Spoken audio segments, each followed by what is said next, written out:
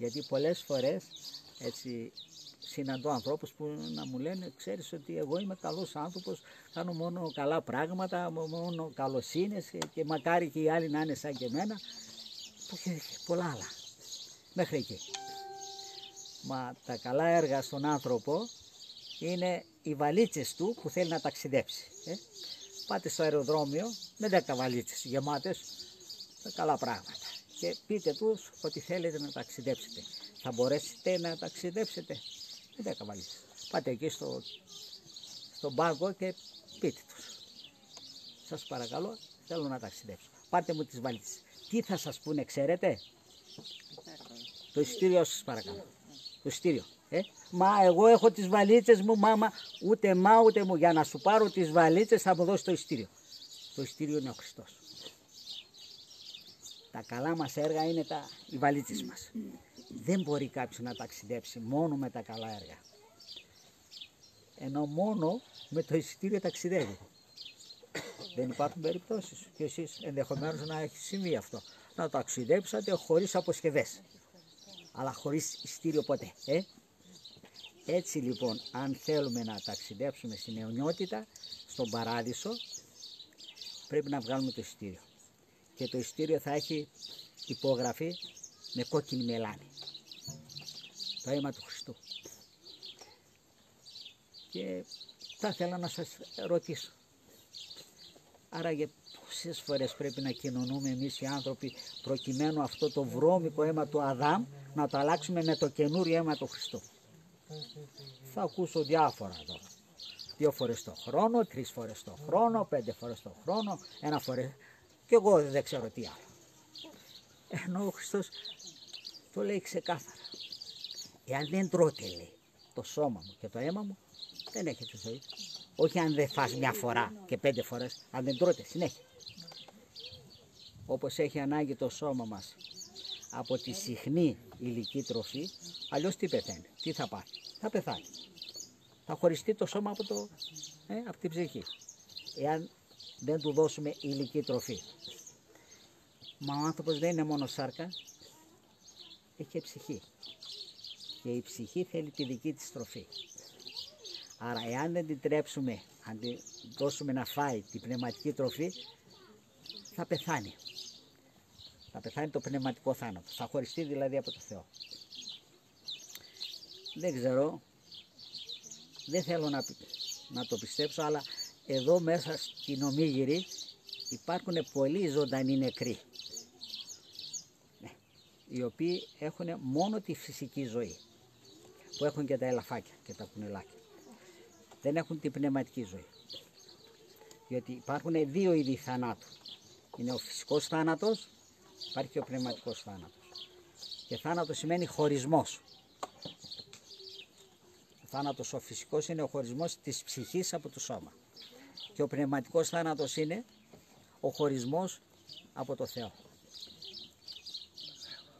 Ο θάνατος ο πνευματικός είναι πολύ χειρότερος από το φυσικό θάνατο. Διότι ο φυσικός θάνατος είναι προσωρινός. Είτε μας αρέσει είτε δεν μας αρέσει, θα θα αναστηθούμε. Είτε μας αρέσει είτε δεν μας αρέσει. Και θα αναστηθούμε όλοι. Είτε πιστεύουμε είτε δεν το πιστεύουμε. Το θέμα είναι με ποιον θα είμαστε. Διότι είναι δύο καταστάσεις. Και αυτό το επιλέγουμε μόνοι μας. Ή με το Θεό, το Χριστό μας αιώνια, ή με τον άλλον, τον διάβολο αιώνια. Και οι δύο καταστάσεις είναι αιώνιες. Και μας το λέει ο ίδιος ο Δημιουργός, ε. και μας κάνει και ένα πείραμα ο Χριστός μας. Ποιο ήταν το πείραμα; Της Αναστάσεώς του. Η οποία, την οποία θέλανε να την αμαυρώσουν οι αντίχριστοι. Βαριά κουβέντα. Είναι η αλήθεια. Θέλανε να αμαυρώσουν την Ανάσταση του. Γιατί εμείς εδώ και 1700 χρόνια ξέρουμε ότι ο Χριστός αναστήθηκε τη τρίτη ημέρα κατά της γραφάς λέει. Και αυτοί μας είπανε, ο Κέσαρας, δεύτερη μέρα. Να τα αλλάξουμε δηλαδή. Ε. Βλέπετε με ένα χτύπημα πόσους στόχους είχαν. Δεν είχα, είχαν τον πυρήνα που είναι ο Χριστός. Ε; Καταργούν αμέσως αμέσως την Ανάστασή του. Καταργούν τις νηστείες που έχουν καθιερώσει οι Άγιοι μας. Ολόκληρο δόγμα δηλαδή τον κρεμίζουν κάτω. Ολόκληρο δόγμα. Είναι δογματικό το θέμα.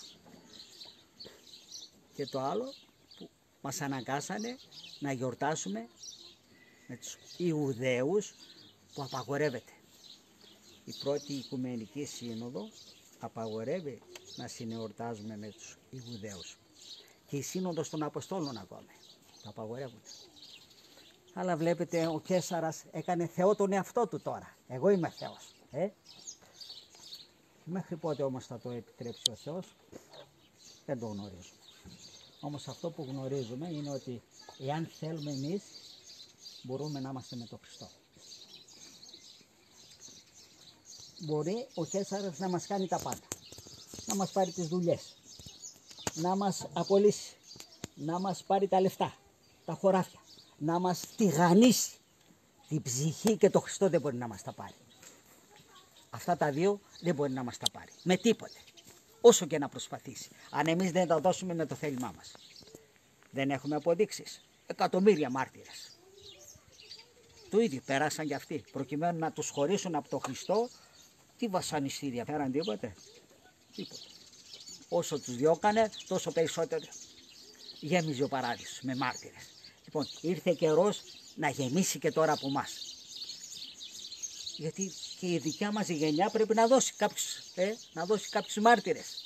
Δεν ήρθε καιρός. Γιατί να μην μαρτυρήσουμε κι εμείς για τον Χριστό; Εκείνοι μαρτυρήσαν με έναν άλλο τρόπο. Επέτρεψε ο Θεός με εκείνον τον τρόπο. Ε, τώρα θα επιτρέψει και επιτρέπει με έναν άλλο τρόπο να μαρτυρήσουμε, να ομολογήσουμε. Είτε αυτό, είτε αυτό είναι με, με την εργασία μας, είτε είναι με τις δουλειές μας, είτε είναι με τις σπουδές μας, δεν ξέρω με τι μπορεί να είναι. Ναι. Είναι ένας τρόπος μαρτυρίου. Εμείς θα δεχτούμε να, να μαρτυρήσουμε για τον Χριστό. Και εκεί θα φανεί η αγάπη μας στον Χριστό. Η πρώτη εντολή. Ε; Γιατί δεν μας το λέει, αν δεν με αγαπάτε πιο πολύ από τα παιδιά σας, βάζει τα παιδιά, ε, τους γονείς σας, τους συγγενείς σας. Φανταστείτε πόσο παραπάνω και από τη δουλειά σας, ε.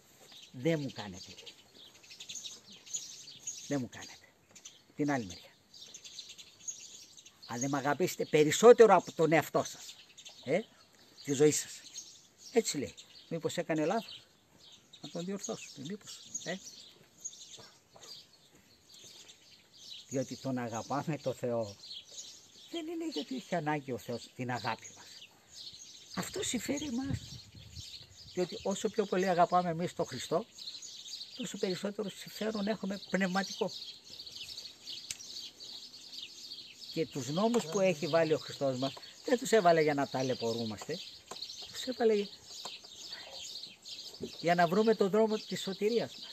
Ε; Αυτά τα μη, μη κάνεις το ένα, μη κάνεις το άλλο, αυτοί οι νόμοι που εμάς μας φαίνεται ότι μας στερεί την, την ελευθερία, αυτό μοιάζει σαν πως ένας νοικοκύρης σε μια οικοδομή βάζει τα κάγκελα εκεί γύρω γύρω για να μην παίζει κανένας από κάτω.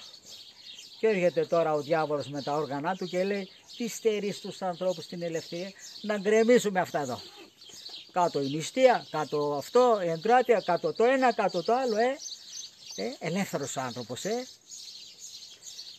Και χάνονται, χανόμαστε. Ναι. Ένας Θεός έβαλε εκεί το, το φράχτη για να μας προστατεύσει και έρχεται τώρα ο, ο Κέσαρας, πίσω από αυτόν είναι ο άλλος είναι, ναι, να μας τα ισοπεδώσει. Όμως δεν γίνεται τίποτε εάν δεν συγκατατεθούμε κι εμείς. Αν δεν πούμε το ναι. Ούτε ο Θεός μπορεί να μας σώσει, αν δεν το θέλουμε, ούτε ο διάβολος με τα όργανα του μπορεί να μας απολέσει, αν δεν το θέλουμε. Και γεννάται το ερώτημα, εμείς με ποιον θέλουμε να είμαστε. Και θέλω σημαίνει εφαρμόζω. Πιστεύω σημαίνει εφαρμόζω γιατί πολλοί άνθρωποι μπορεί και σε εσάς εδώ να υπάρχουν. Ξέρεις, εγώ πιστεύω, πιστεύω πιο πολύ από όλους. Μα και ο διάβολος πιστεύει ότι υπάρχει Θεός. Οφελείται σε τίποτε, δεν αλλάζει ζωή, δεν μετανοεί. Ε; Η πίστη πρέπει να συνοδεύεται με έργα για να έχει αποτελέσματα. Αλλιώς δεν κάναμε τίποτα. Βλέπω πολλές συνστάσεις έχω δημιουργήσει. Πολλά ερωτήματα έχω δημιουργήσει και είμαι στη διάθεσή σας να σας ακούσω. Πού διαφωνείτε; Α, δόξα τω Θεώ. Αυτό είναι καλό σημάδι. Ξέρετε, ξέρετε πού οφείλεται αυτό; Ξέρετε πού οφείλεται αυτό; Το ότι δεν διαφωνείτε; Αν προσέξατε, ποτέ δεν χρησιμοποιώ αυτό το τρίγραμμο που να λέω εγώ νομίζω. Ό,τι σας λέω είναι γραμμένο εκεί, στο Κύριό μου, στο Θεό μου, στους Αποστόλους, στους Αγίους. Οπότε αν έχει κάποιος καλή προαίρεση, τι θα πει ότι κάναν λάθος οι Απόστολοι, οι Άγιοι, ο Χριστός. Έτσι. Γι' αυτό και βλέπω ο... έχουμε τις ίδιες σκέψεις, διότι και ο στόχος από ό,τι φαίνεται είναι μοναδικός, ίδιος. Εκεί που διαφέρομαι είναι οι αποφάσεις, τι αποφάσεις πήραμε και τι αποφάσεις θα πάρουμε τώρα. Τώρα, σκληρές. Ε; Τώρα, τώρα, τώρα, πρέπει να το καλοκαίρι και μετά. τώρα δηλαδή, διανύουν το ζεστό καιρό, αυτό εννοώ. Το, το, το, το, πιάσατε, έχουμε χρόνο ακόμα. λοιπόν, ξέρετε να σας πω ένα τέχνασμα του διαβόλου, το μεγαλύτερο. Θέλετε να σας το πω; Ε; Η αναβολή. Το μεγαλύτερο τέχνασμα του διαβόλου είναι η αναβολή. Έχετε χρόνο. Τώρα καλοκαίρι να κάνουμε και κανένα μπάνιο τώρα. Μετά, μετά. Ε; Από χθες. Τώρα γριεύουν τα πράγματα. Λοιπόν, μας κλέβει το σήμερα που είναι δικό μας και μας υπόσχεται το αύριο που δεν μας ανήκει. Είναι παμπώνος. Κάνει καλά τη δουλειά του. αυτό το λένε πονηρό. Αυτό. Ε, πονηρό το λένε και για κάτι άλλο, ότι είναι φτωχός. Βγαίνει από την πονία, από τη φτώχεια. Ήταν πλούσιος από ό,τι ξέρετε και έχασε αυτή τη δόξα και έγινε φτώχος, καημένος.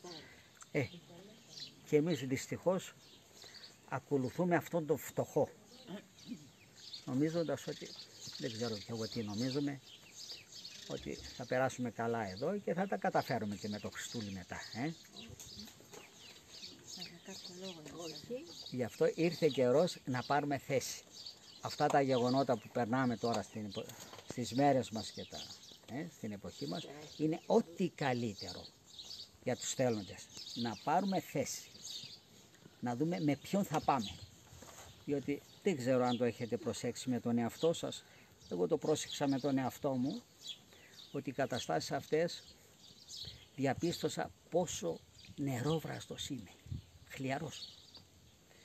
Οπότε μου δίνεται ευκαιρία και ψάχνω και, και εσάς έτσι να πάρουμε όλοι μαζί μια απόφαση να γίνουμε θερμοί. Γιατί ο Χριστός λέει προτιμάει ή τον ψυχρό ή το θερμό. Τους χλιαρούς λέει θα τους εμέσει. Μας συχαίνεται τους χλιαρούς. Ευκαιρία είναι τώρα να πάρουμε θέση. Και νομίζω ότι θα συμφωνήσετε κι εσείς να πάμε με το Χριστό. Με το Χριστό. Θα ήμασταν εδώ αν δεν είχαμε αυτή Με το Χριστό. Ε, αυτό, αυτό. Θα ήμασταν εδώ. Δεν είναι απόδειξη αυτή. Γιατί και ο διάβολος είναι εδώ. Εδώ είναι. Θέλετε να σας το δείξω. Θέλετε; Δεν είναι απόδειξη ότι επειδή είναι εδώ ότι θα μετανιώσει και θα αλλάξει ζωή. Ε; Έτσι. Έτσι. Λοιπόν, το θέμα είναι εσωτερικό. Θέλουμε να αλλάξουμε. Η ζωή μας να αλλάξει. Να αφήσουμε τα πάθη μας, τις αδυναμίες μας. Ε; Την κατάκριση τις πορνίες, τις μοιχείες, και τα χοντρά εκεί, τους φόνους εκεί, να μετανοήσουμε, να εξομολογηθούμε, να κλάψουμε για τις αμαρτίες μας και να πούμε Χριστέ μου τώρα τα έκανα μουσιμα, πάρε μου τώρα, ανέλαβέ με, δεν ξέρω τι θα κάνεις, εγώ τα έκανα μουσιμα. Ναι, αλλά ελπίζω στο έλεό σου, ανέλαβέ με και θα προσπαθήσω και εγώ με τη χάρη σου να γίνω όπως με θέλεις. Και όταν εκκλησιάζεστε ή οπουδήποτε πάτε στα μοναστήρια, κάντε αιτήσεις. Από τη μία να σας απαλλάξει από τα πάθη και τις αδυναμίες και από την άλλη να σας προσθέτει αρετές. Αλλά φαίνεται εσείς τα έχετε τακτοποιημένα αυτά και ούτε ζητάτε να σας απαλλάξει από τα πάθη, ούτε να σας προσθέτει. Μια χαρά ζητάμε. Ε, Ζητάτε, δόξα τω Θεώ, δόξα τω Θεώ. Ζητάμε όπως το λέτε. Ζητείτε και δοθήσετε λέει. Έτσι. Εύχομαι λοιπόν, ολόψυχα το εύχομαι, να βρεθούμε στον παράδεισο εν ημέρα κρίσου. Όλοι μαζί, έτσι, είναι όλοι ο μαζί. στόχος. Κανένας απ' έξω. Ε, τι λέτε, το υπογράφουμε; Το υπογράφουμε. ε, ή όλοι μαζί στον παράδεισο ή κανένα στην κόλαση; Ναι. Ε, συμφωνείτε, Συμφωνούμε απόλυτα. άμα συμφωνείτε Το πέτυχε, παλεύουμε. αν συμφωνείτε, πέτυχε η έξοδός σας, πέτυχε το προσκύνημά σας. Αρκεί να το κρατήσουμε, ε. Ε. Βάζετε και εσείς το λιθαράκι σας. Όλα αυτά συντελούν σε αυτό που λέτε. Εύχεστε, εύχεστε, εύχεστε.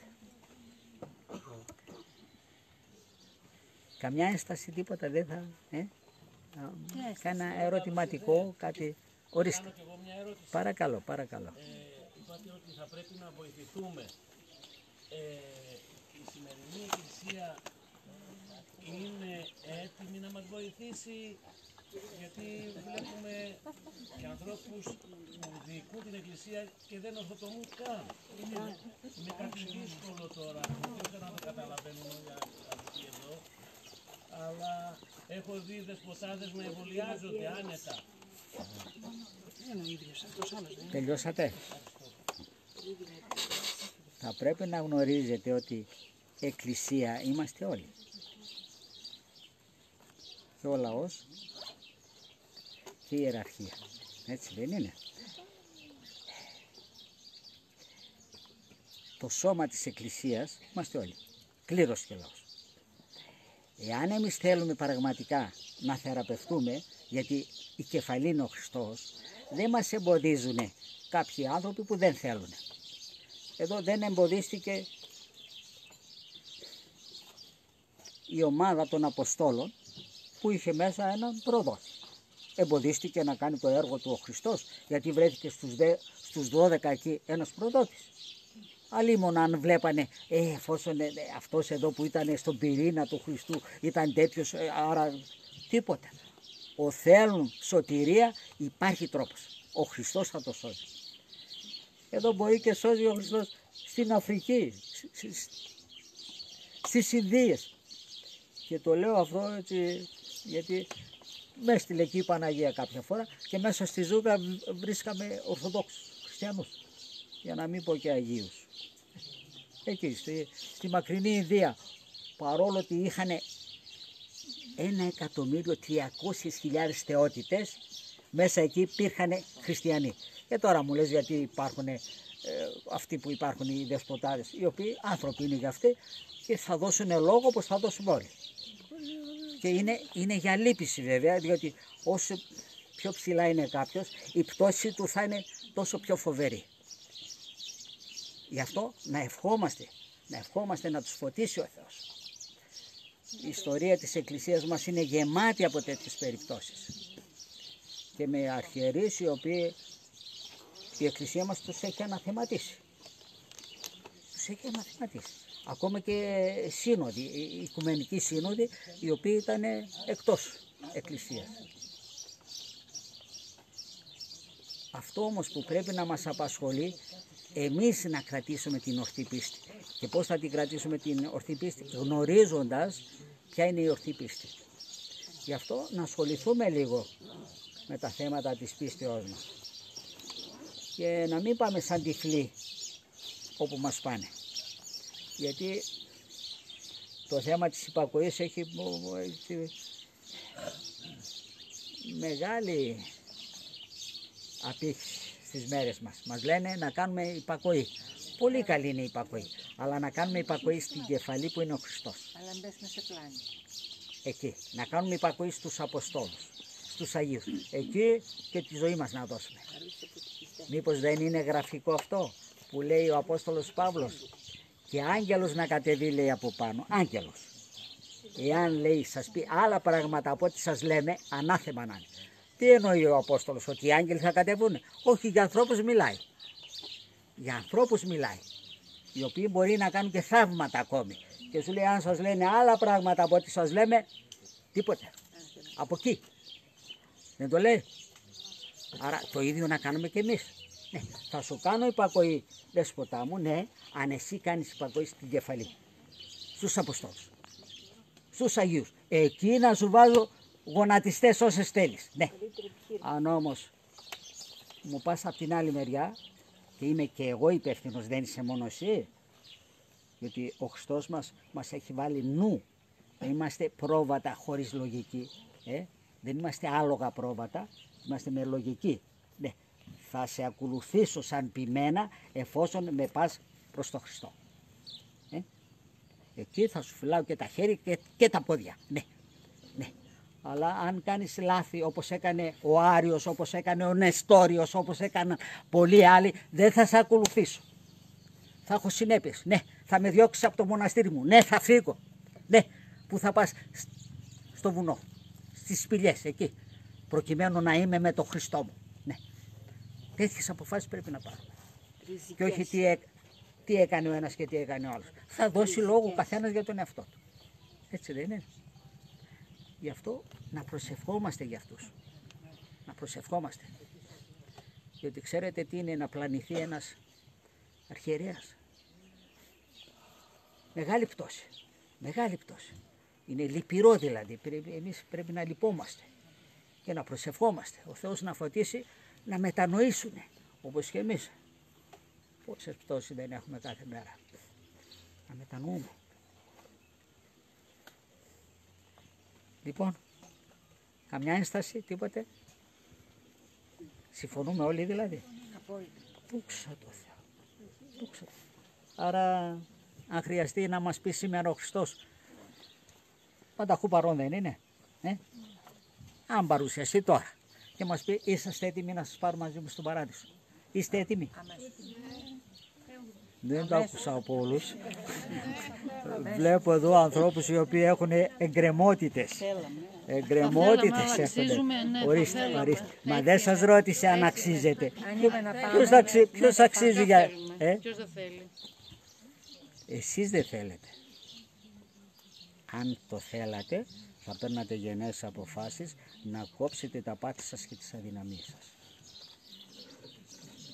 Γιατί δεν θα χωρέσετε από την πύλη που είναι πολύ στενή, έχοντας τόσα εξογκώματα.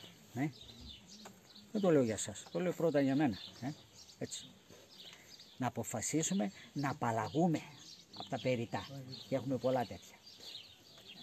Η λεωφόρος που μας υπόσχονται κάποιοι είναι πλάνη. Είναι στενή η πύλη. Μας το είπε ο ίδιος ο Χριστός.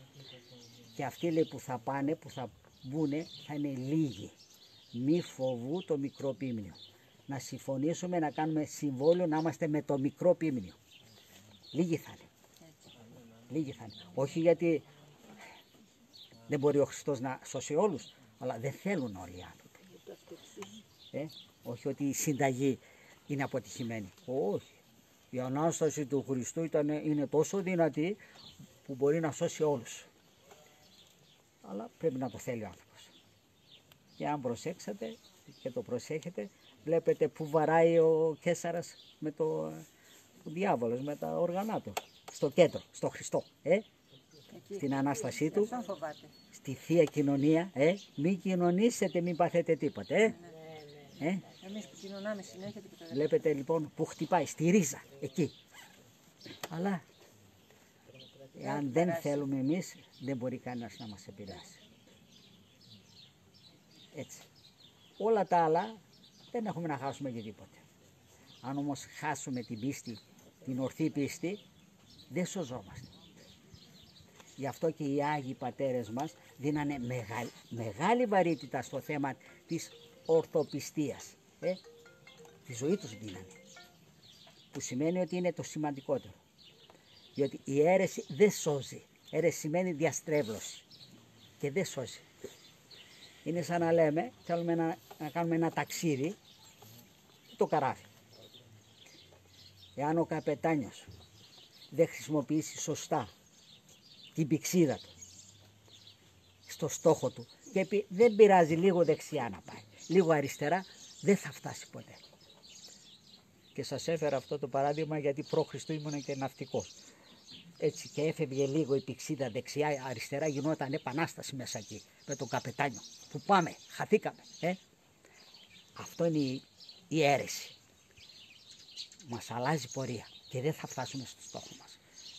Γι' αυτό και εκεί θα πρέπει να δώσουμε μεγάλη προσοχή. Να γνωρίσουμε τα της πίστεώς μας, να μελετήσουμε, να ενδιαφερθούμε. Ε; Όχι όλη μέρα στην τηλεόραση που κοντεύει να μας αποτραλάνε έτσι. Όχι όλη μέρα εκεί. Αν μπορέσετε, Κλείστε τη. κλείστε τη. Θα είναι ό,τι καλύτερο για τον εαυτό σας και για το περιβάλλον σας. Κλείστε τη. Διότι στα 100 τα 99 είναι λαθασμένα. Ε; Θυμούμαι, πήγαινα και άκουγα κάποτε τον πατέρα Θανάσιο, τον Μητυλινέο, στη Λάρισα. Ένα, Άγιο, έναν Άγιο. Ναι. Και στην ερώτησή μας, ε, γέροντα, κάνει να βλέπουμε τηλεόραση, να επιλέγουμε κάποια θέματα. Και τι μας είπε ο ευλογημένος. Λέει, μου θυμίζεται σαν να έχουμε έναν κάδο που ρίχνουν οι άνθρωποι τα σκουπίδια. Και κάποιος λέει πάει ρίχνει και μία φρατζόλα. Μπορείς λέει να πας να την πάρεις από εκεί μέσα και να τη φας. Αυτή είναι η τηλεόραση. Θα σου δείξει εκεί τα σκουπίδια τους, θα σου ρίξει και κάτι καλό. Αλλά θα στο μολύνει. Ε; Υπάρχουν τόσοι άλλοι χώροι που μπορούμε να ενημερωνόμαστε. Να κάνουμε επιλογή. Να είμαστε έξυπνοι. Ε, ξέρετε τι σημαίνει έξυπνος; Έξω του ύπνου. Να μην μας πιάσει ο διάβολος στον ύπνο. Ε; Ναι. Όπως διαλέγουμε την τροφή μας να είναι καθαρή. Ε; Όπως διαλέγουμε τα, τα γλυκά μας εκεί ξέρω εγώ. Έτσι να διαλέξουμε και την πνευματική τροφή. Να μην δεχόμαστε ό,τι μας δίνουν. Ε; Συμφωνούμε, τι λες ευλογημένη; Α, δόξα τω Θεώ, δόξα τω Θεώ, δόξα τω Θεώ.